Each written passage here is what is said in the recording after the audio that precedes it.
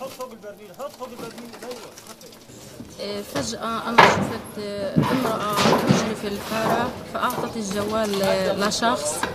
أنا أنا فكرت إنه يعني في شهيد يعني أو إيه، شيء إصابة بتجري. ففجأة الحارة إيه، اتجمعت. قلت بناتي إيش في أجا ابن جوزي وحكى قال إطلعوا من الدار اطلعوا من الدار. طلعنا وما خدتش أنا ولا اي ولا أي إشي يعني من الدار. حتى هويتي كلها راحت. طلعنا وشربنا في الشارع. أنا طلعت ما خدتش ولا أي إشي. هاي طلعت هيك حتى بالشبشب يعني. يعني هيك شفتونا الصبحية اجينا قاعدين بنلم شوية اغراض حتى فرشاتي هاي مقطعة. أقسم بالله ما فرحت عليهم.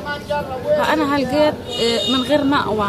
طبعا بدي أنا أسكن في مأوى. أنا مش عارفة هلقيت وين أروح. يعني إحنا هلقيت رحنا عند قرايب إيه، دار جوزي دار عمو. بيتهم صغير خالص. يعني أنا واولادي في غرفه الضيوف يعني أنا الليلة ما نمتش بالمرة. رغم كل هيك إحنا حنضلنا صامدين. صامدين صامدين.